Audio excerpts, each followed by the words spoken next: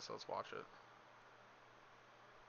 April 2021, 97.9 million views. God April damn! 2022, 8.5 million views. In the space of only 12 months, Kwebbelkop's viewership has fallen by roughly 90%, and we're going to outline every single mistake made which has brought him to this unfortunate point. Now to cut Kwebbelkop aka Jordi a little bit of slack, we need to specify that because he's a gaming YouTuber, some of this decline has actually been out of his control. We've explained in past videos that gaming YouTubers often have a very volatile career as their True. view count is directly tied to the popularity of whatever game they happen to be playing. We can see this trend when looking at Kwebbelkop's best month ever back in August 2019, when his channel would achieve a monthly viewership of one hundred and sixty-six million. At the time, Minecraft was coming back into the mainstream, bolstering Kwebbelkop's content, whilst Fortnite was still in its prime YouTuber phase, giving him countless opportunities for fresh new videos. Since oh, he's had no control guys, over the popularity man. of these games, you might go ahead and call this an element Cara, of luck. However, almost everything else really was bringing in these 160 66 million there views go, had been a result of Kwebbelkop's actions. For example, Jordi was a master at collaborating with other YouTubers. I'm a YouTuber. I want to know more you. YouTubers. I want to get to know all the YouTubers. Hmm.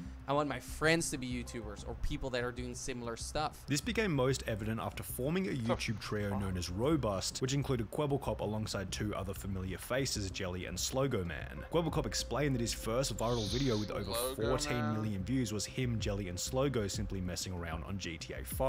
As their relationship strengthened, a video where Kwebbelkop simply met Jelly in real life for the first time gained over 12 million views. The trio were even picked up by PewDiePie's YouTube network Revelmode alongside Markiplier and Jacksepticeye, with the That's subscriber crazy. count of Kwebbelkop, Jelly, and Slogo being the best piece of evidence for the success they'd find as a trio. In addition to forming the robust group, Jordi began dating fellow YouTuber Azzyland in 2016, with Azzy herself having a multi-million subscriber count at the time, meaning that they could collaborate on various different videos providing further growth for each creator. Yet the overwhelming driver behind Kwebbelkop's extreme viewership was without a doubt his laser focus on the content in combination with an unwavering work ethic. After beginning his channel, Jordi made a commitment to upload one video every single day, which he would continue for like a me for period of over nine Kwebbelkop. years. I have 27th no of idea the fuck August 2012, I said to myself, I'm never gonna miss a day of uploading, no matter what, no matter what happens. And every day I'm gonna make a video that's better than the one before. Additionally, all of his energy was being French? focused on one channel only, ensuring that the one daily Bro, video was what the fuck?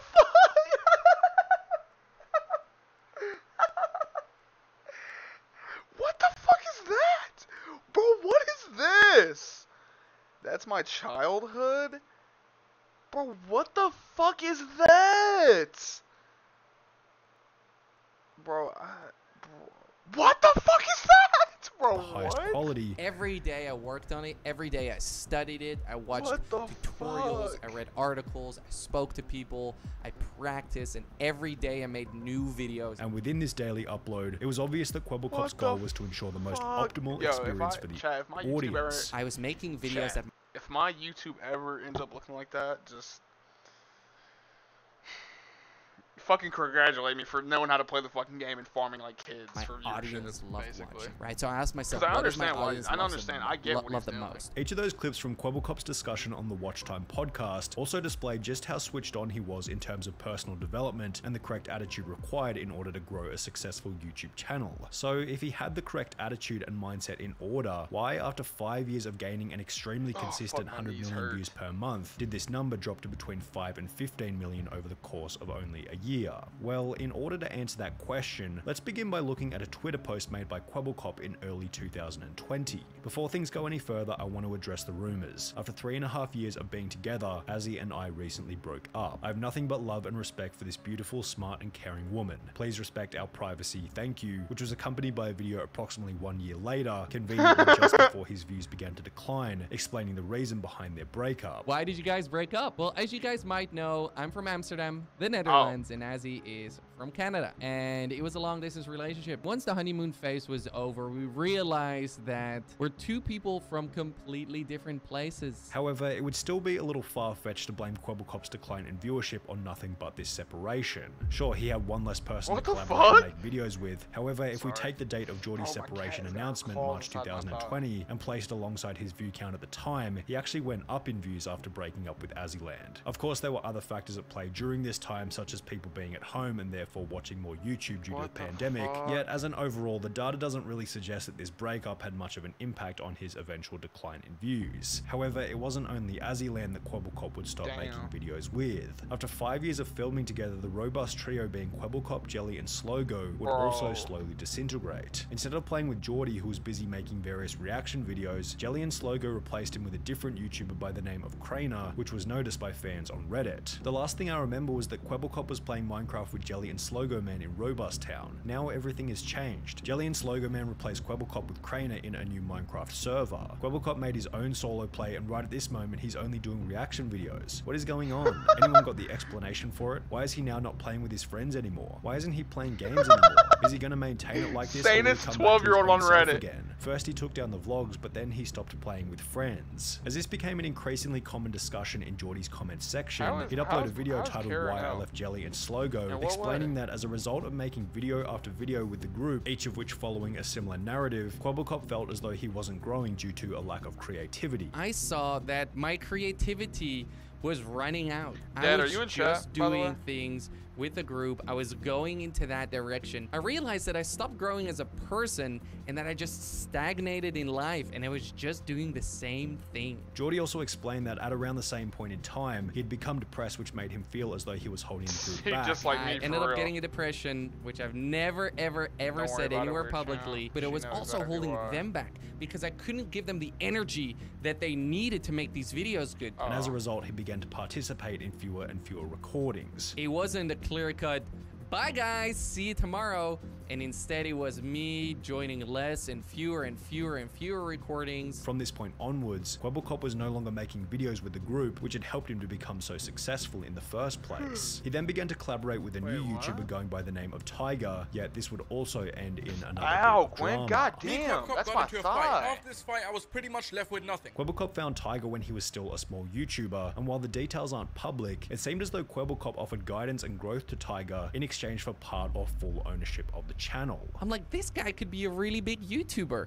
If I would coach him a little bit, he, Okay, he is what? he has so much talent. Now this went exactly as planned in the beginning. They started playing together and pretty quickly Tiger's viewership skyrocketed from 2 million views per month to 20 million views per month. However, at around What? the same point in time, Tiger randomly stopped uploading altogether. Two months later, Tiger would upload a video on a different channel titled Why I Left Kwebbelkop and Tiger, explaining that he couldn't talk about what had happened with the channel. And I'm not gonna get too much into who was in the right or who was in the wrong, because um, I can't. but he was no longer friends with Kwebbelkop. Everyone is You're asking the same Thank thing. You're Why are you not uploading to Tiger and what happened between you and Kwebbelkop? Well guys, it essentially boils down to one thing, and that is that me and Kwebbelkop are actually no longer friends. Oh. I feel hurt, oh, I feel Oh, disappointed, no. I feel betrayed, Gwen, what and most of all, They're I feel longer forgotten. friends. What would become obvious later was that somehow Kwebbelkop had claimed ownership over Tiger's channel, as he would upload a video where he had cloned Tiger's voice and attached it to an AI, which would provoke another response from Tiger, who was once again insulted by Jordi's actions. He made this cartoon character, loaned my voice, and put it on the Tiger What the channel. Listen, Also, Jordi, this cartoon version of you might be your best shit. friend, but I'm not your best friend, okay? I'm not even your friend. And after Tiger called him out, Kwebbelkop seemed to panic as he would delete every video featuring the AI Tiger clone. The two would make up on Twitter with Jordi stating, Oh life is too short to have enemies, Kara, yet shortly you. thereafter Kwebbelkop would Lucky, end their exchange go. by blocking Tiger on Twitter. But then for some reason, my man Kara the decided to fucking block goat, me. dude. But you know Holy what, man? shit. I don't care. What's most interesting about this whole interaction is that it correlates perfectly with the point at which Kwebbelkop's views began to decline record it right rapidly. However, the reason Now you for the have to watch impending decline wasn't the I drama can't, itself, but rather one discovery made by Jordi throughout the conflict with Tiger, being that he could make an AI character to act no. as a real person. One of the biggest lessons I've learned in business is that pretty much everything you dream is possible. Cloning yourself, too easy. Four years ago, I was in the middle of a burnout, made three videos per day Yes, and streamed two No, to three hours per day. I wished I could clone myself, so I did. What Kwebbelkop is referring to in this Twitter thread is a channel he launched one month after the drama with Tiger, which posts gaming videos and uses an AI character as the main personality within the videos. Now, there's nothing wrong with anyone beginning a second channel, but when looking at the numbers, it's obvious that this new AI channel going by the name of Bloo was seriously fragmenting Jordan's attention on the main channel.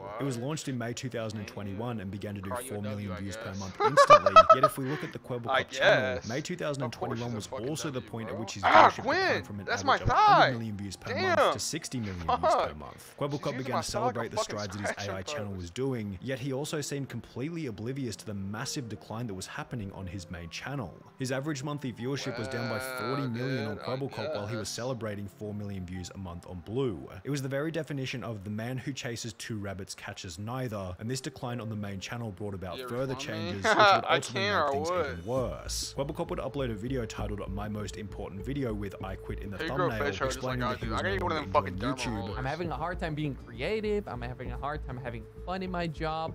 I'm having a hard time Bro, sleep. I'm always W. worrying about YouTube, always thinking about YouTube. I'm not enjoying it as much as I was before. Before going on to state that after 10 years he was discontinuing the daily uploads. That's why after 10 years of making daily videos, I quit. I quit making daily videos. Kwebbelkop would finish the video by stating that starting from today, he planned on making top quality content that the audience wanted to see. Starting today, He's gonna from start now making on, music. you can expect my next video to be top notch, to be really flipping good, to be exactly Good. what you want to see. see. Yet the first three videos posted in the days that followed were him bragging about his $10,000 dog, then him bragging about his custom orange G-Wagon, then him bragging about his $7.5 million penthouse apartment. Welcome to my seven and a half million dollar penthouse tour. Let's see if this video can hit 100,000 Why would you- And it's just like, Why why would, would so wait, here's my question.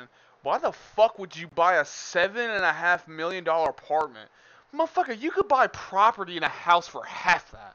What the fuck? You post this, dude? Not only have you stated in the past that you apparently don't do YouTube for the money, I don't care about making an extra buck on YouTube. I don't care about the money. I really genuinely do not do YouTube for the money. But do you really think Smartest the audience fucking wants to YouTuber, open up the. YouTube app and instantly see something that makes them feel inferior to you? Do you think new viewers on your channel want to open up the video section and see one video saying I quit followed by three videos talking about how rich you are? You think it's just a I coincidence that David Dobrik got cancelled That's in the physically same month that he posted his brand new multi-million dollar house to YouTube? When you invite envy into the life of others, you pay for it in ways which you will not expect. The three videos felt like Yes, nothing more than a validation-seeking exercise which That came off as quite ugly as insecure. A 2008 study by the Journal of Consumer Research stated that when people feel powerless and out of control, they feel an increased desire to purchase items which convey Oh yeah. high Carrie, you're here now. Question. Um, we were watching a video earlier, and this dude fucking, or this chick, they were watching the button, and this chick skipped out on this dude because he had Legos. What is your opinion on that? Do you think, what do you think about a dude has a lot of Legos? I'm just curious. Also, don't worry about the background. Don't worry about that. status. Further, this increased attraction to high status products stems from a specific inclination to Legos? re- Yeah, he had a lot of Legos. What is your opinion on dudes with a lot of Legos?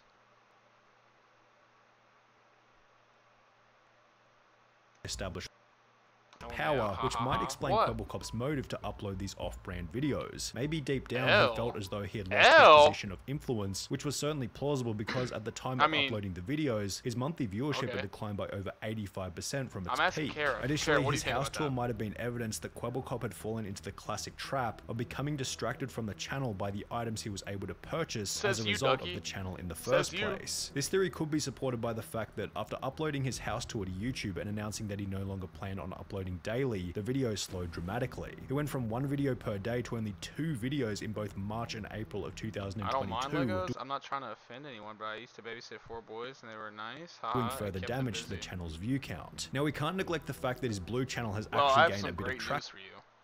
As you can see right there, I have a fucking giant Lego set that cost me three hundred dollars. So A plus if I'm keep if it's gonna keep you busy. I'm a grown man. Motherfucker, you are not a grown man. You're like 16. I'm a grown man, and and sweetheart, that absolutely kept me busy for a fucking entire day, like literally a day and a half. Action over Anyway. the last couple of months, gaining between 10 and 25 million views per month. However, when combining the views of both Bloo and Kwebbelkop together, even on the best months he doesn't crack 40 million views, which is still less than half of what he was Hell, able to achieve while simply focusing on Yeah, one channel. In a recent video titled "My 100 Million Dollar GTA 5 Business in Real Life," looking for a which sports a similar life, kind of vibe to the apartment tour, Kwebbelkop talks about how he's also launched an NFT stupid I'm so business and is working on a video game, potentially fracturing his focus from YouTube even further. As mentioned earlier, Kwebbelkop is you. No, you're not. extremely switched on in terms of how to build and run a successful YouTube channel, although as a whole there are two are, obvious problems that need to be solved. The first problem, which thankfully is relatively easy to fix, is one relating to ego. Jordi, I know how much we as males love to brag. It's written in our DNA to talk than all of endlessly about how good we are, but you have to resist the urge to do so. Proclaiming your high status by posting videos of your Yeah, G-Wagon and totally. multi-million dollar home, ironically does the opposite of what you want it to, as your audience doesn't want to follow someone that needs to be validated in any way, shape, or form. The second problem is a little harder to solve as it requires either more sacrifice or cap it right time, and I could be wrong altogether with this second problem because I'm not sure what kind of numbers your other businesses are doing, but your focus is clearly fragmented, or maybe you have too many fuck? things to focus on. you claim to have between 50 Yeah, and 100 than me, Chad. employees. I'm running can a pick me up business with anytime. I don't know how many employees. Anywhere Nah, from 50 nah, to nah, nah, 100 employees 6'8". work here. Yet your views are significantly below where they were during any other year since 2016. The potential inefficiency of this was also noticed by some of the sidemen. So Kwebbelkop has basically tweeted out saying that he spends on average King, 14 let me- days and 14 editors snap, to girl. make one video. now. Instantly, I'm thinking your your team or your process is incredibly inefficient. And while the one step back for two steps forward mentality is a great thing to have, something feels off with the numbers. You Maybe you're Discord, just bragging you about need. employing way more people than you actually do. And if this Don't is the tell me I case, it's just do. another piece of evidence for the previous point. Quit with the bragging. Nah, it's not she's 6'8". necessary and adds no value to anything at any point in time. When you appeared on the Watch Time podcast with Muselk, one very mature thing that you said was that you appreciate Hey, when your YouTuber friends call you out on things. eight. So while I was probably a little bit harsh in this video, what? hopefully it can provide some genuine tough love You know feedback about where you, You know can improve going into the future. Because we're literally on sync, dude. I told you. I'm perfect. King, what? What, son?